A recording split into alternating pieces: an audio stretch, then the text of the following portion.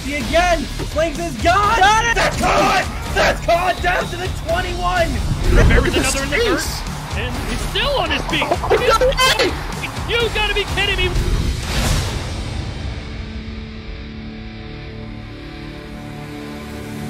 Welcome everyone to SFL Crunch Time. I'm Ethan Muslin. And I'm Josh Zirkle. The Cardiac Kids in Denver are at it again. Another close game, this time with the Arizona Scorpions. But first, let's go around the league and get you caught up on all the scores from SFL action in week six. Let's go. Why don't we take it from the top? North of the border, Florida visiting, visiting Vancouver. Charlie the Bullet Boletsky, shoot me, spins inside and runs outside for the score. He had another monster day, over 150 yards. But Robert Redford, the natural, gets a big block, and he's on his way to the end zone. Vancouver got a huge win over Florida, 41 to 24. Your final out of Canada. Meanwhile, in Texas, Fort Worth, this is Johnny Reno fighting a leaping Stephen Hacker, coming up with a huge catch, over 100 yards on the day for the Swiss Army knife of the SFL, Stephen Hacker. And Jason Williams waited for his block and he finds his way into the end zone. And Fort Worth waiting for their first win of the season for quite a while. They finally got it. 20 to 16, your final out of Fort Worth. Los Angeles facing Jacksonville.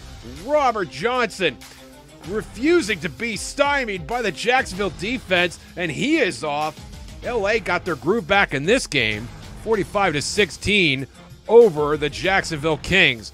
London visiting DC, not a diplomatic visit. Kevin Say spinning and running into the end zone. Just another day at the office for the MVP candidate. No big deal. But London would answer. Johnny Pickler under center is going to unleash the dragon to Mike St. Green. And St. Green is off to the end zone. Over 100 yards receiving for St. Green. DC falls finally to London, 38 to 31. This is Ben Charms from Mexico City picking off Ace Fennec. And Mexico City would cash in, and Phoenix Jones on the swing pass. Mexico City needed overtime to get past Lone Star, 31 to 28. Your final south of the border. This is Corey Menner, who had a multiple interception day against the Mavericks. The air show finally went quietly to that good night. Keith Swearingen multiple touchdowns on the day 30 to 23 your final out of charleston tulsa and st louis. A couple of young teams on the rise. This is cameron shaw coming up with a big pick in the end zone for tulsa. Would lead tulsa to this. A huge strike over the middle. Corey jones behind the entire defense. They're not going to catch him. And tulsa comes up big on the road 31 to 17 your final under the arch. Las Vegas, Louisiana. This is Rolliman Hood. What kind of season is Rolliman Hood having right now? The interception and the big return to boot gets us into plus territory. And who else getting it done? Mike Ryan. When's the last time he played a game without getting an interception? And then look who else is in the action. Dante Grimm, who had two picks in this game, 33 to 21 over Las Vegas. And the first game on the docket today is the Western Division matchup between Arizona and Denver. Ryan Owens from 10 yards out gets the touchdown to give Arizona closer to the lead. They're trailing 27 23 later in the third quarter. Picked off here. That was Eric Price trying to get a pass, but Rashonda Gage gets in front of it, makes the pick, gives Arizona the ball back. Later on in their drive, Pass complete to Ryan Owens. He gets the first down after a nice gain on that play. Then on second and goal, Ryan Owens again from the right side. He scores the touchdown. That would give the Scorpions the lead 30 to 27.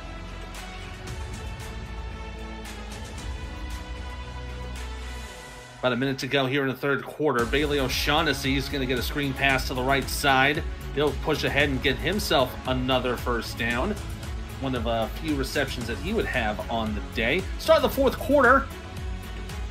And a nice little floater there to Bryce Battle to continue the drive for Denver. And another first down conversion here for Bailey O'Shaughnessy. He had himself a pretty good day for 18 carries and 57 yards. Then this long pass here to Logan Keel to get the touchdown, give Denver the lead right back. They would go ahead 34 to 30. Now halfway through the fourth quarter, Arizona trying to keep themselves alive. First down here from DJ Moses crossing midfield, going down to the 41. That would be good for a nine-yard gain. Then continuing the pressure on fourth down. DJ Moses needs one yard to convert it. He goes to the left. He's got it easily and a little bit more. He would end up getting a six yard run there to keep the drive alive for the Scorpions. But the clock was running down with two and a half to go from the 16. DJ Moses up the middle again. He continues the drive for the Scorpions with another big first down, keeping the drive alive in the red zone. But the clock ticking down as you see there. Now with two minutes to go. Ashley Jackson looking to throw, gets one down the middle, and it's Will Todd in the end zone for the touchdown. He gets the score and gives the Scorpions the go ahead lead, waking up that huge monstrosity of Fatality Field. With less than less than a minute to go, then Bryce Battle on fourth and 24 tried to get the first down, could not get anything going there, and ended up having a turnover on downs. But they would stop the drive, and the punt would be blocked. And we thought perhaps that Denver had the chance to get the ball back, but on further review, here's what happened. Snap is low, punt is blocked, and you see here number 51 of Denver had his hands on the ball and lost it, and that's what constituted the turnover and give Arizona the ball right back. We thought perhaps Denver got it, but no, the change of possession means a new set of downs for the Scorpions, and they didn't have to do much else. They just had to take one more knee and close out that game. And in a bizarre finish, the Scorpions come away with the win over Denver 37 34. And Ethan, it has been nothing but close calls for Denver so far this season. All of their games decided by 14 points or less. And look at this five out of six decided by six points or less, including both of their wins, each against Sioux Falls and St. Louis, where they won those games only by three.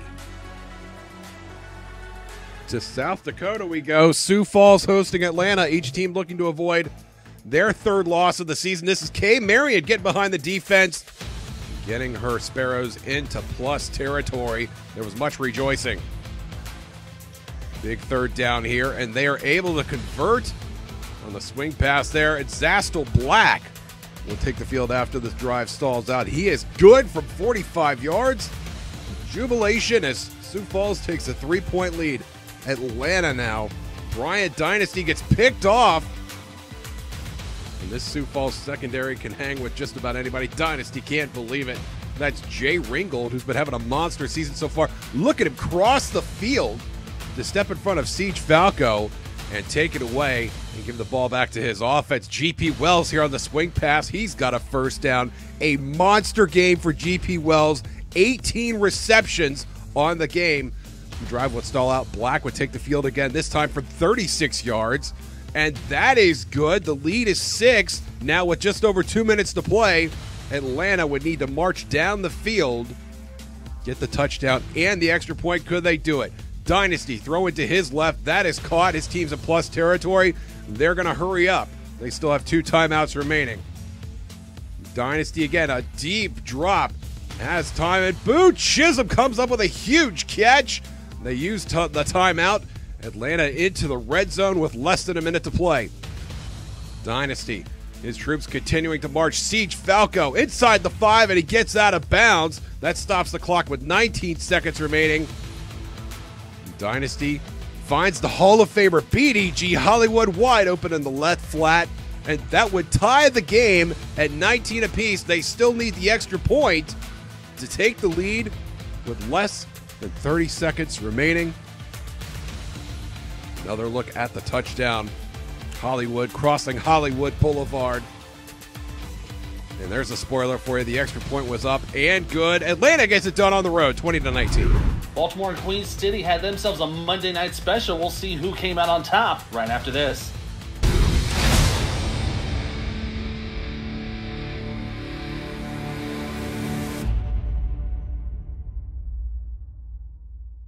Welcome to the SFL Monday Night Special. Live from Buffalo, New York, it's the 4 0 Baltimore Vultures and the 2 2 Queen City Corsairs. Welcome back to SFL Crunch Time. We open this segment with a special presentation of SFL Game Sound where we bring you original audio from the top matchups of the week. And this being the first of four Monday night specials presented by the SFL, a unique presentation of SFL games. This week, it's player cams and player commentary throughout the game. So on the call, Cameron Irvine, T. Roy Gaines, Saron Yates IV, Nathaniel Diggs, and Jorge Torres. Five yard line. And Diggs, you're rushing back out on that field now. The offense turns it over. Uh, there's been a couple games I've, I've had to have uh, the EMTs on standby. One, Oh, Hazard breaking tackles. Oh, Hit man, two man. down to the four yard line. Goal line set, third and goal with a one. Handoff, Hazard, Hazard. There we go. Called it.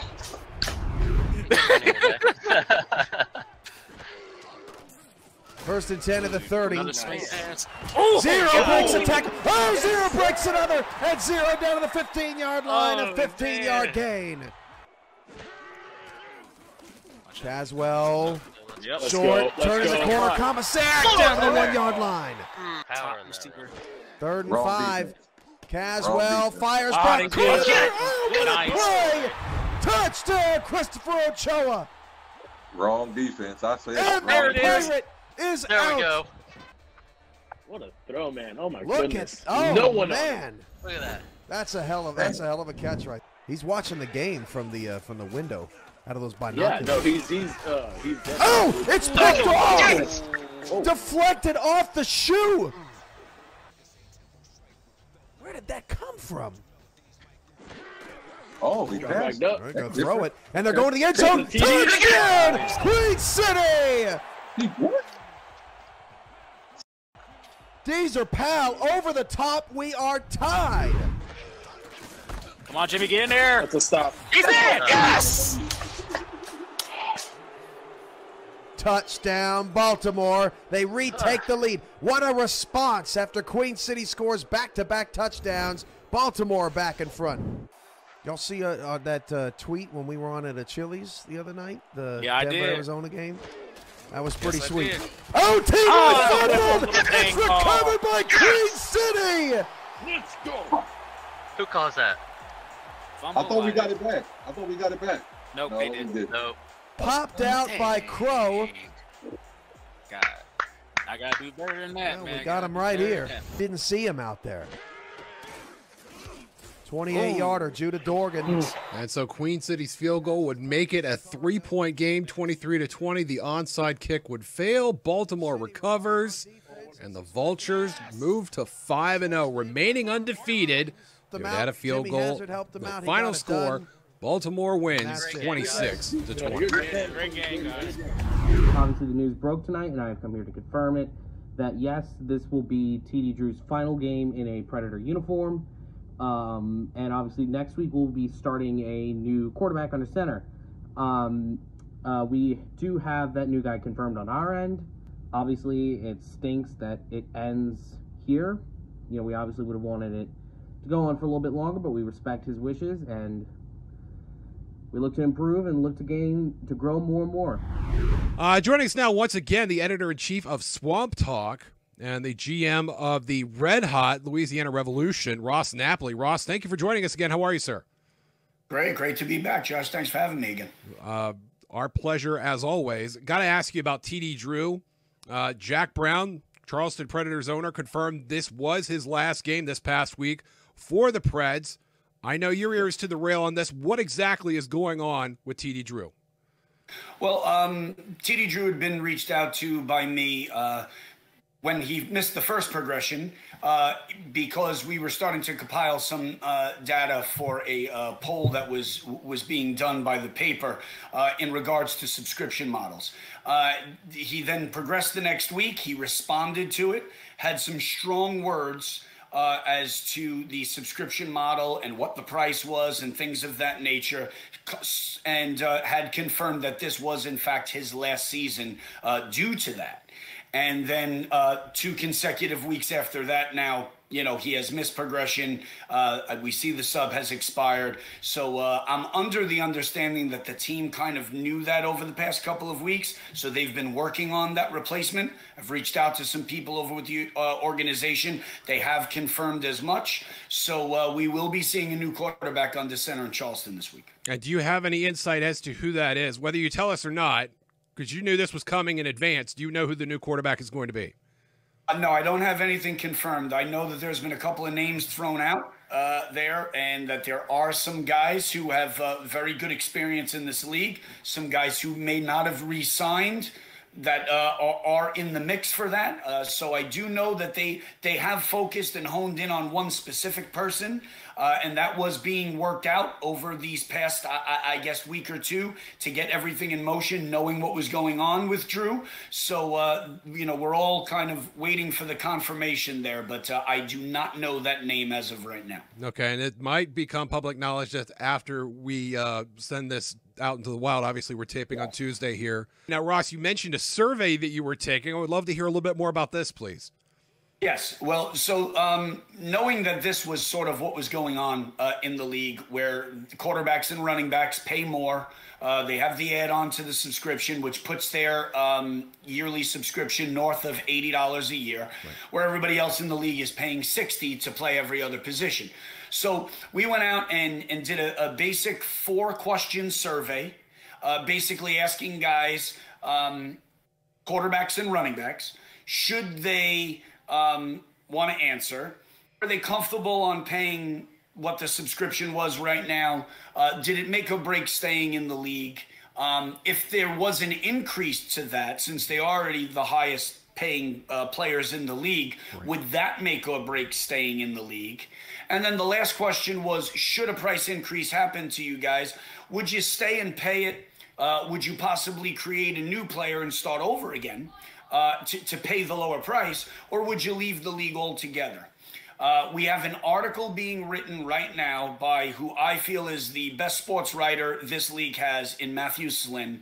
Um, I forwarded him all of the data. We did get 44 responses of the 50 quarterbacks and running backs in the league. Pretty so good. we have a very good handle on the feeling of a majority of those players and what that meant.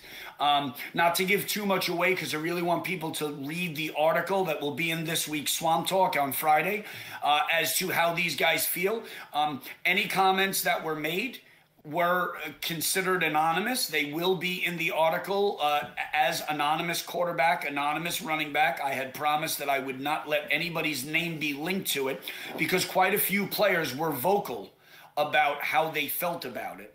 And um, there is one key element of that poll that I found very interesting, um, and it's it's it's both sides of the spectrum.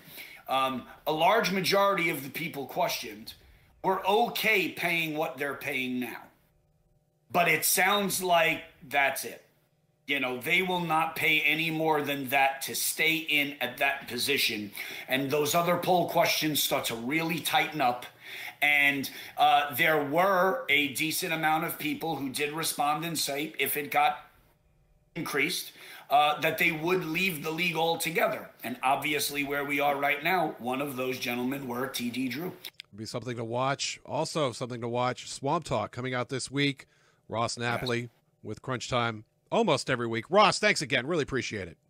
Thanks, Josh go away. Up next, we go into the kitchen with Mike St. Green to find out what's sizzling. That's up next on Crunch Time.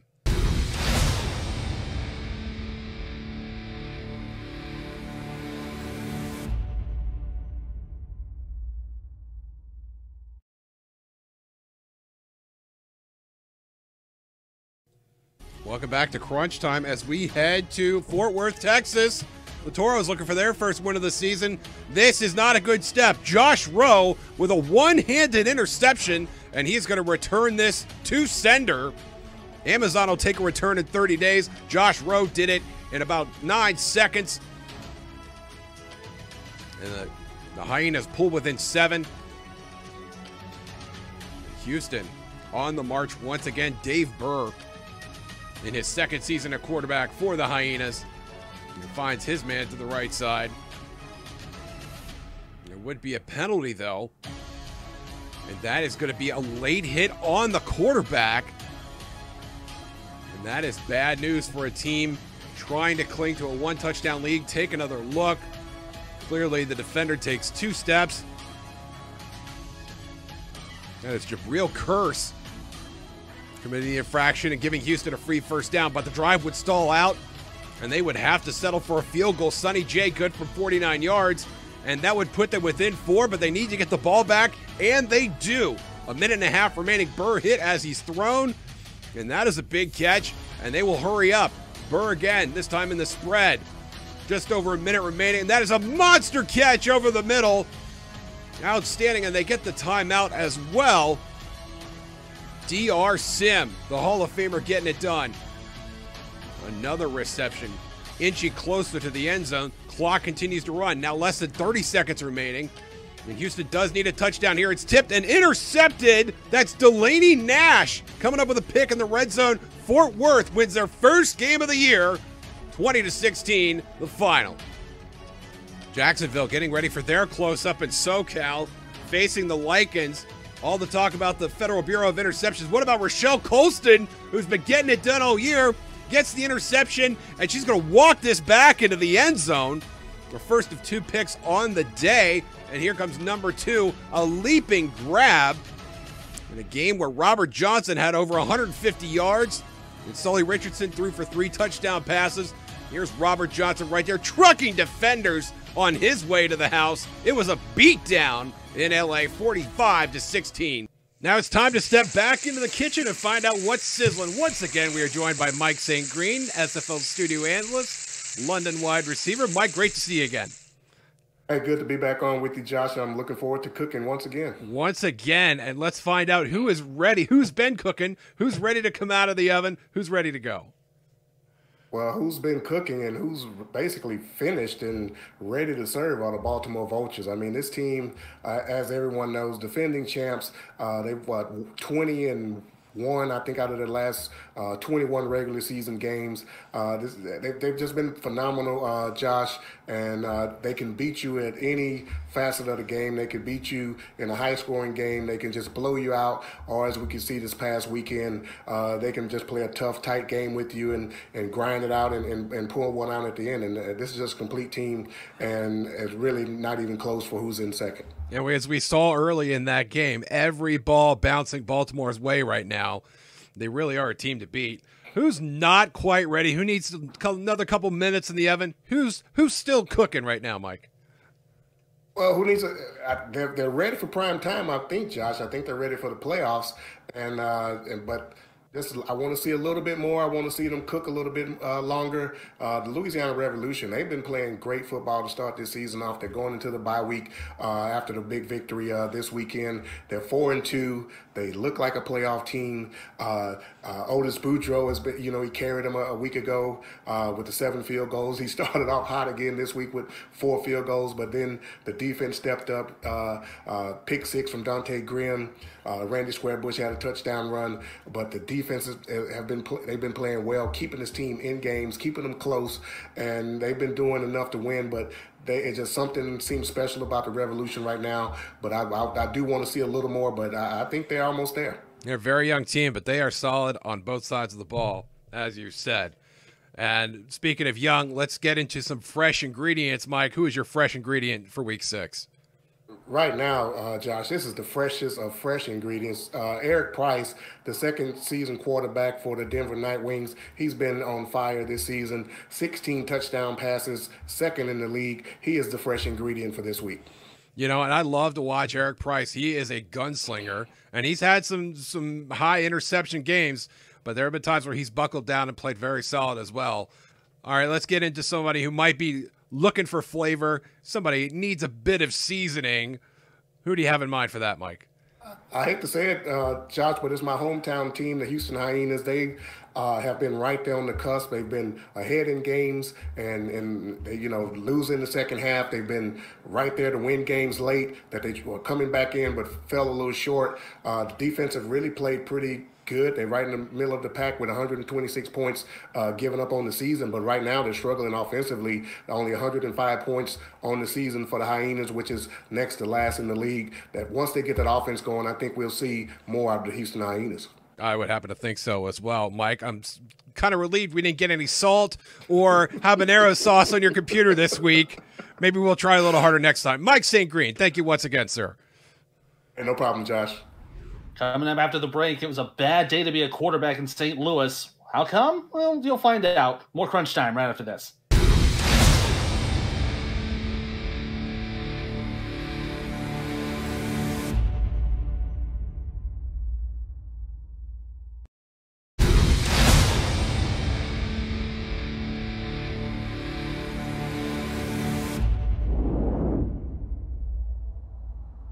Over to the east for a divisional matchup between Tulsa and St. Louis. Doug Brown on his first carry of the game.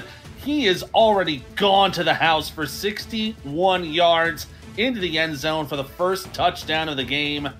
What a great run there to start. He would have 28 attempts for 134. That 61 being the biggest one. Then Eagle Mondavi here in the third quarter gets himself a touchdown to bring themselves closer to the Tulsa lead. They would trail 24 to 10. And the start of the fourth quarter, it was a bad day to be a quarterback. JQ getting intercepted here by Colin Douglas, helping St. Louis get back into the ball game. Yeah, JQ was not having a good day, but right afterwards, the very next play, Christian Brown, he's picked off right back by Ricky Thornton. There would be a total of six interceptions on the day between both quarterbacks. JQ responsible for two of them, Christian Brown responsible for four. We'll take a look at this Thornton pick again. He just got right in front of the route, got in front of the receiver. I believe that, uh, yeah, that was Phil Cause, the intended target, and just got in front of it and managed to take care of it. Then only two plays later, on third and seven, JQ throws the deep ball down the middle. He's picked off by Nicholas Warner. Five plays, ending up in three interceptions. It was just it was a bad time to be a quarterback and you saw that just jumping right in front of that route. But it all culminated in this. Christian brown picked off again. This was his final pick of the day and it was the worst one he could have had. Daniel wright takes it all the way to the house for a pick six. A fantastic performance from both defenses but oh my goodness yeah he see there he jumped right in front of the route grabbed it he had nobody around him he was gone Tulsa would end up taking this matchup. They've won three of their last four, 31 17. Two of the traditional powers in the SFL squaring off Florida facing Vancouver.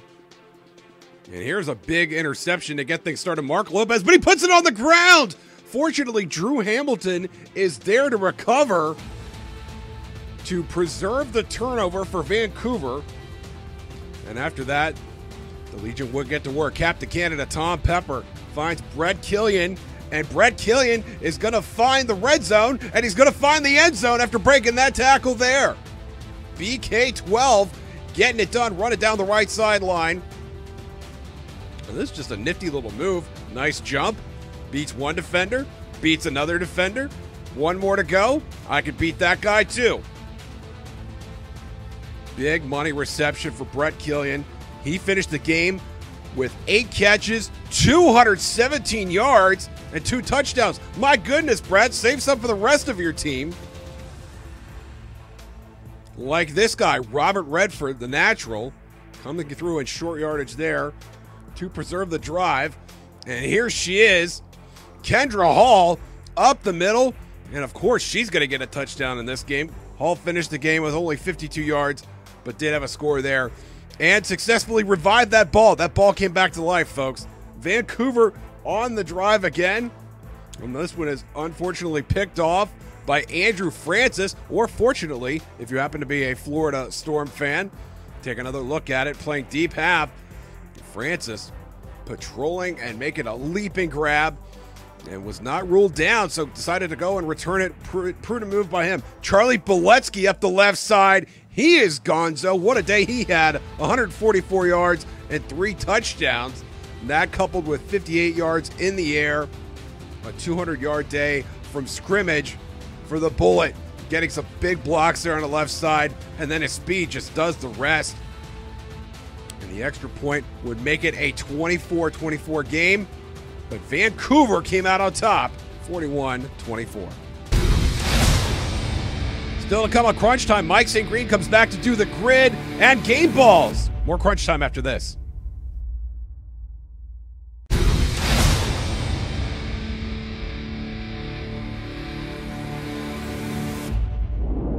Who wants some more Tex-Mex? We'll have Lone Star at Mexico City. Here late in the fourth quarter, Ike McBride, she walks into the end zone wide open for the touchdown. That would give Lone Star the 28-21 lead. With a minute to go here in the fourth quarter, Matt Wilson trying to throw it out here, but it's incomplete. Intended there for Jason Bartley. That would bring up fourth down and eight. With five wide receivers, Wilson from the shotgun to keep the Aztec drive alive. Would throw here to the right side, caught by McCall to get the first down. Matt Wilson did not have himself a good day in terms of turnovers, had three interceptions, but that was a good reception there. Then later on, with a minute to go, a big shot there to the Orang Darby to keep the drive alive. Then at the next play, Bartley to the left side. He's into the end zone for the touchdown. They would kick the extra point, and we would tie it up at 28. And then with three seconds to go, Lone Star trying to Hail Mary their way to a win. A deep ball down to the end zone. It's caught, but it's by the other team. It would end up being an interception by Dorian Locke. And we would be going to overtime. Remember, in the SFL, overtime is sudden death. First score, and it's over. There is no ties in this league. So going into overtime, Mexico City would get the ball. Wilson with a throw down the middle of Mike Daggs. That would keep the drive going. Good for a first down. Brings it to the 27 yard line. They're pretty much in field goal range, but Phoenix Jones says, you know what? I'm going to make it a little easier for my kicker. He brings it down to the 12 yard line, and that would set up for the field goal from 28 yards out. The kick is up. It is good. Mexico City would win a squeaker in overtime. They're now three and three. Lone Star getting their second loss of the season, with the Aztecs coming out on top, 31-28. Las Vegas visiting Louisiana, heading to the swamp. This is Cameron Collier up the middle, the fullback getting a touchdown, vulturing from Colin Hart and Randy Squarebush. Do we have a three-headed running back monster in Louisiana? Maybe so. On a later Revs possession, this is Tommy Utah in the middle of the fourth quarter. That is tipped and intercepted. Nicky Colantrelli coming up with the ball and getting the Fury in great field position, already at field goal range.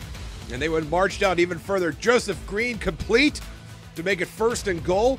And then up the middle, Scojo gets a touchdown of his own. Scott Johnson still getting it done. Finished the game right around 100 yards with that touchdown. And now here comes Colin Hart running for his sees Cameron Collier scoring and trying to preserve his own volume.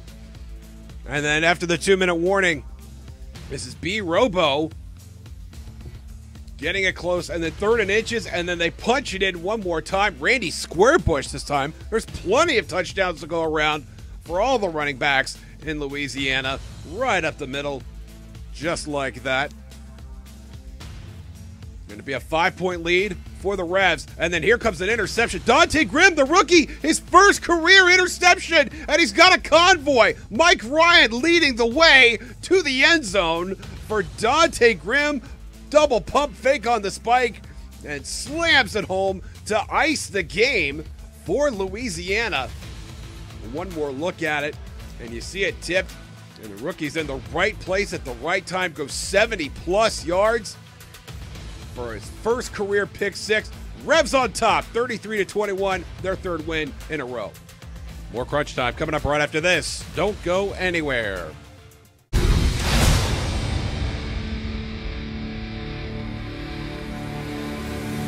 DC undefeated and heading into week six, facing London. This is Lauren Percoco running a slant over the middle.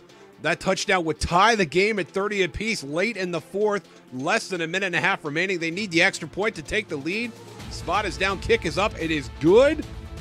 And DC has the bare minimum lead for trying to go 6 0.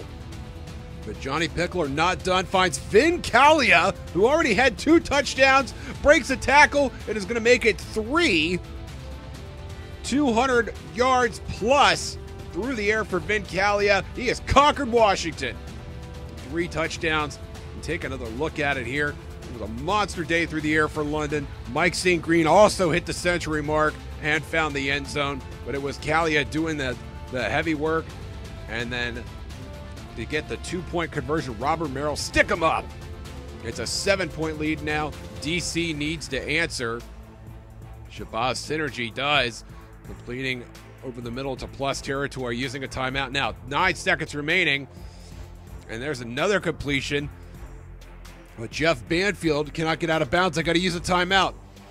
DC out of timeouts now. They completed over the middle inside the 10, but time expires. And DC falls to London 38 to 31. Over to Charleston, where the San Diego Mavericks are trying to go to 4 and 1 on the season. Scar Patterson here in the third quarter. Big bomb to Gunnar Lewis. He will take it to the house for a 62 yard score. That would narrow the deficit for the Mavericks to just three points. They would trail Charleston 23 to 20 following this score. And you saw there just had plenty of room to run, could not get caught. We'll take a look another look at that catch. Yeah, just right through the seams. So now uh, down by three, Patterson gonna throw a bomb here to Liam Hammer, gets him inside the red zone. That would be one of Liam Hammer's five receptions on the day for 151 yards. Look at that deep bomb. Beautiful catch there. That would go for 67 yards on in the air and just a phenomenal reception. Then it would go down to go down to Jalen Wells, keeping the drive alive, going down to goal to go, but the goal line stand would hold for Charleston, and Alec Finley would have to settle for a field goal.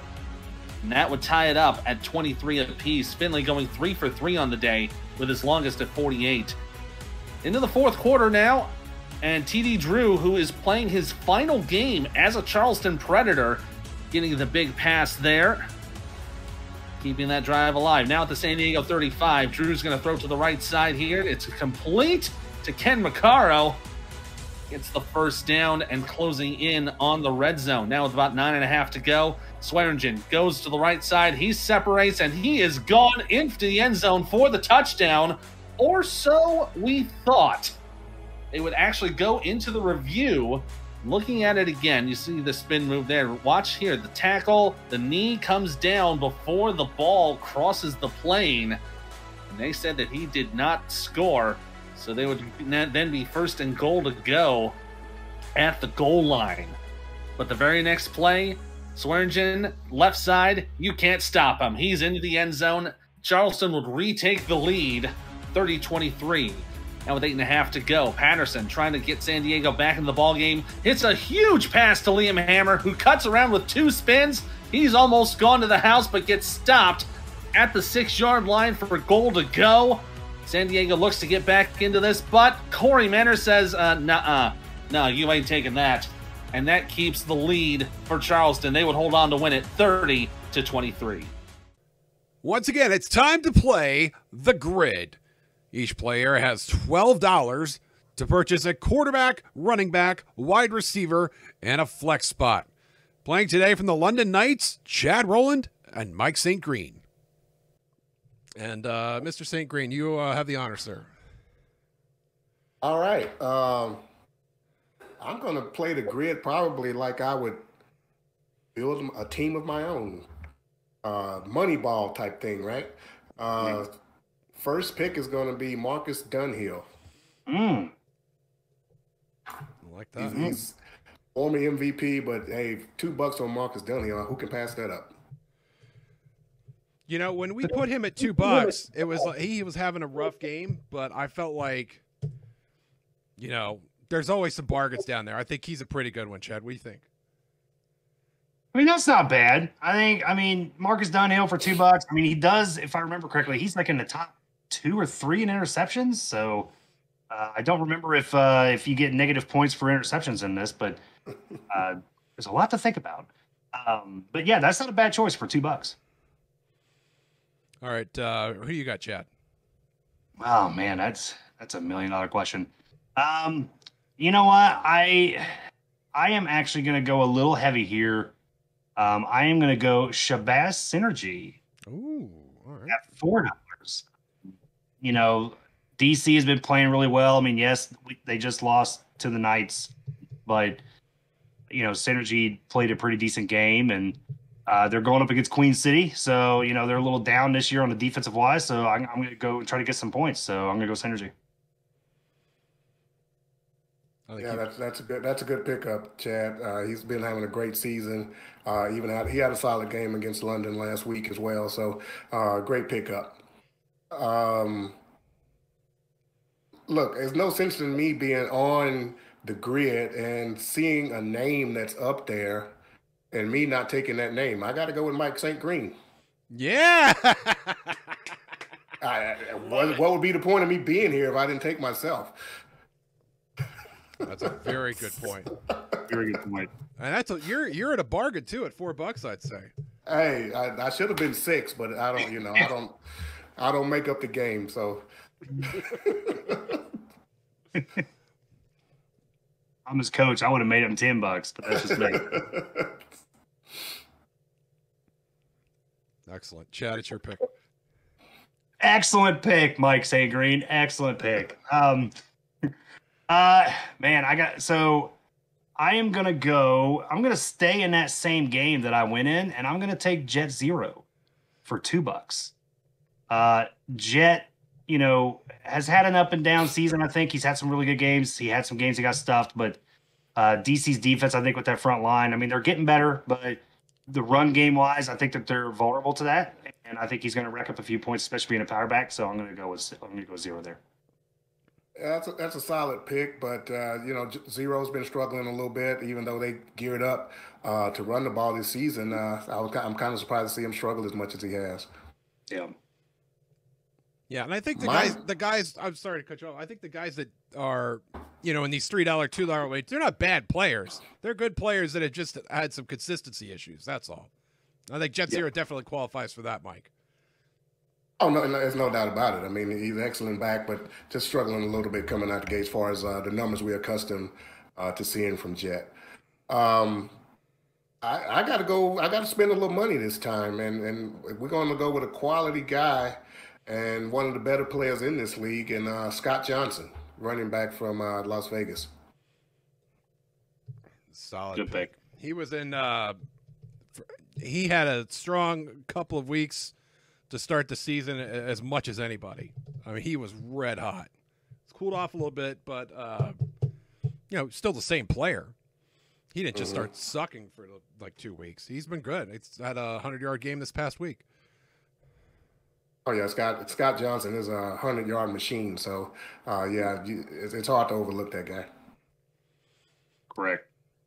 Chad, you have six bucks left. What are you thinking? Six dollars, man. Um, let's see here. So my thinking is with this, I've already got the running back. I need to go get myself a wide receiver. Um, I'm gonna I'm gonna go with Jason Bartley. Um, you know, a guy coming from Mexico City. You know, it's it's a really pass happy offense. Um, and you know, Matt Wilson has been throwing the ball a lot this season. He's he's leading the league in yards. And who better than to go get that than uh, Jason Bartley? I think he's gonna have a big game. Mr. St. Green, you are down to your last two dollars, but it's a flex spot. You can get anybody you want. Yeah, Josh, I was going to say my hood math tells me that I have about two bucks left. So, uh, and I need a flex position, and this guy can put up numbers. Uh, you know, not great numbers, but he puts up solid numbers uh, from any given game and any given week. I got to go with Will Todd. Yep. Good pick. Very strong game this past weekend. And Chad, you uh you saved a little bit. You've got three dollars left. How are you Yeah. gonna, how are you gonna round out your team? You're also looking for a flex. Yeah. So looking for a flex. Um, it almost pains me to say this just because of the fact that I usually have beefs with this guy and I'm always battling this guy in, in many different aspects of life. But I got to go Eagle Mondavi. Um, you know, you know them going up against Arizona. Arizona's been, you know, looking a little weaker. I think at the defense this season. I, Eddie's going to hate me for saying that, but um, I think Eagles going to have a big game, and, and I think that that's uh, that's a that's a good selection. I think. I think yeah, so. that, that is a solid pick. Uh, yeah, that Arizona secondary, they've been struggling. Uh, they did come up with a victory against Denver this past weekend, but uh, it wasn't because Denver didn't put up points. That's for sure. Yeah, correct. Guys, outstanding stuff. We got two good teams here, and both and you both stayed on budget. So great, great job on running the grid. Hey, don't head off just yet. Cam and Mike have game balls coming up. More crunch time right after this.